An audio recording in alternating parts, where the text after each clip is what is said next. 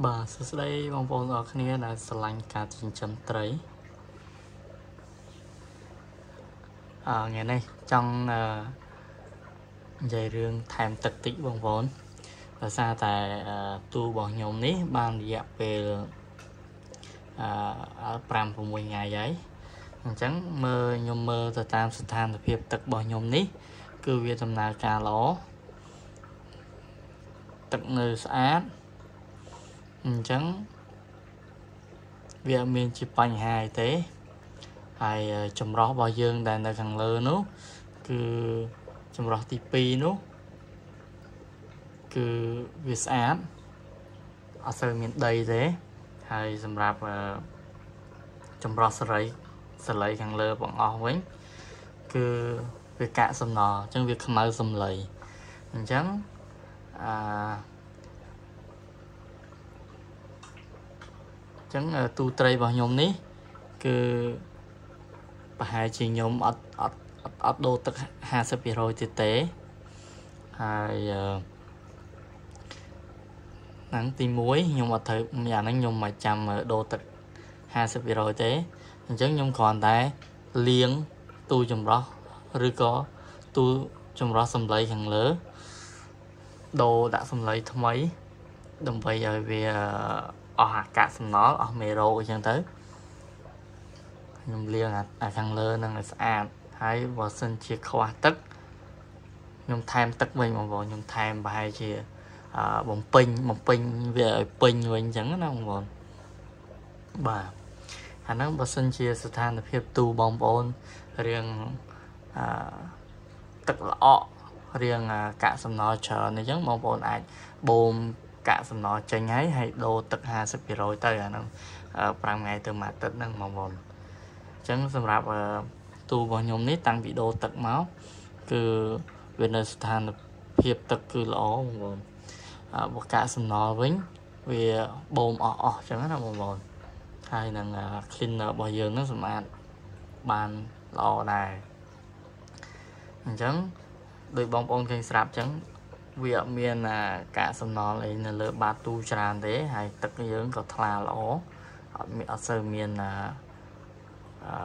កកដីច្រើនទេអញ្ចឹងយើងផ្ដោតសំខាន់ទៅលើ ទូចម្រោះវិញបងប្អូនអញ្ចឹងសម្រាប់របស់ខ្ញុំនេះគឺខ្ញុំផ្ដោតសំខាន់ទៅលើទូចម្រោះវិញអញ្ចឹងប្រហែលជាស្អែកខាងស្អែកខ្ញុំរួចការងារខ្ញុំតណែខ្ញុំសម្អាតវាចេញសម្អាត ទូចម្រោះពីខាងលើនឹងចេញបងប្អូនបាទហើយបើសិនជាយើងខ្វះទឹកតែនៅពេលដែលយើងលាងវាអស់ទឹកចម្រោះខាងលើហើយអញ្ចឹងវាត្រូវខ្វះទឹកហើយយើងបូមពីក្រោមទៅវាខើចទឹកអញ្ចឹងខ្ញុំត្រូវបំពេញវាប្រហែលជាមួយផ្ទើ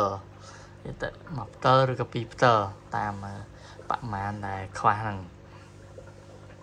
ហើយបងប្អូនដែលថែមទឹកហ្នឹងកុំភ្លេចបងប្អូនទឹកយើងត្រូវប្រើទឹកស្តុកណា កុំយកទឹកម៉ាស៊ីនមកថែមអសោះបងប្អូនប្រយ័ត្នមានបញ្ហាព្រោះទឹកដែលថែមគឺយើងថែមភ្លាមភ្លាមអញ្ចឹងបើបងប្អូនប្រើទឹកម៉ាស៊ីនអាចមានបញ្ហាហើយអញ្ចឹងបងប្អូនត្រូវតែប្រយ័ត្នមែនទែនត្រង់យើងថែមទឹកទាំងហ្នឹងបងប្អូនត្រូវតែមានទឹកស្តុកត្រឹមត្រូវរបស់ខ្ញុំអឺមុននឹងខ្ញុំថែមវិញខ្ញុំត្រូវដួសដួសទឹកមកស្តុកខ្ញុំត្រូវដួសទឹកមកតុកអញ្ចឹងដើម្បីខ្ញុំថែមទឹក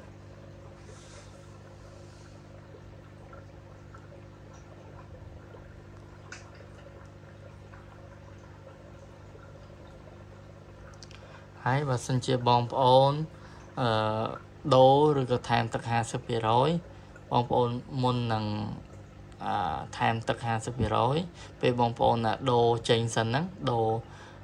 បូមទឹកចេញ50%សិនហ្នឹងពេលបងប្អូនបូមហើយបងប្អូនចាក់ថ្នាំក្លចូលសិនទៅ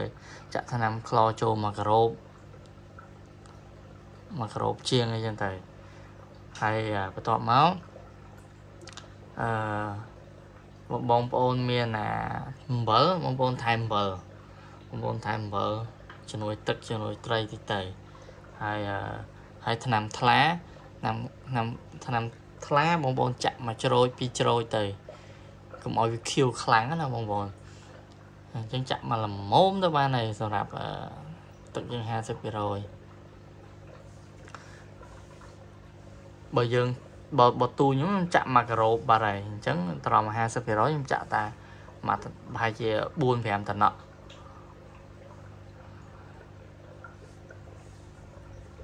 បាទហើយបន្តមកចាំបងប្អូនថែមទឹកថ្មីចូលមូលហេតុអីបានត្រូវធ្វើអញ្ចឹងដើម្បីឲ្យត្រីយើងសម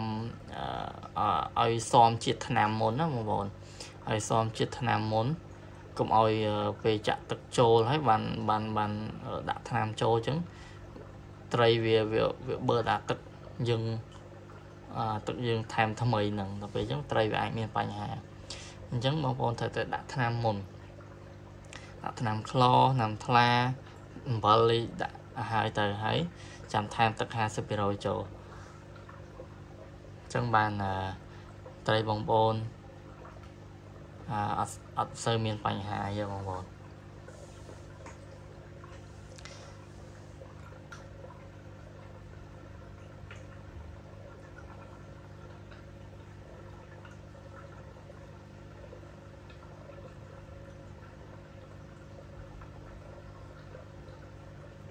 ប៉ុន្តែកតិកតិកតិកតិកនៅលើបាទូនេះខ្ញុំដាក់ចំណៃហ្នឹងបងដល់ពេលអញ្ចឹងវាអាចចំណៃខ្ញុំវាវាបែក វាបែកបែកកតិកតិកដល់ពេលអញ្ចឹងដាក់ទៅវាវាវានៅពេលទៅអឺវាធ្លាក់មកដល់បាទូវានៅកតិកតិកតិកតិកប៉ុន្តែកតិកតិកតែຕົកតិចទៀតត្រីវាបឺតអស់ត្រីបឺតអស់ហើយនឹងអាអីគេខាង cleaner យើងហ្នឹងនេះ cleaner យើងសម្អាតអស់ហើយឥឡូវកាក់សំណល់ឥឡូវវាមិនសូវអឺសម្អាតទេ វាចេះធ្វើម្ល៉េះតាំងពីអាសាគេឲ្យដាក់ចំណីឡើងមកស៊ីគេដែរហើយលេងចង់បឺតកាក់សំណល់គេថាត្រីហ្នឹងបឺតកាក់សំណល់តែតាខ្ញុំឃើញវាកាក់សំណល់ដូចទៅបឺតហ្មងបឺតបឺតតែចំណីឲ្យឃើញចំណីឡើងមកមិនតាន់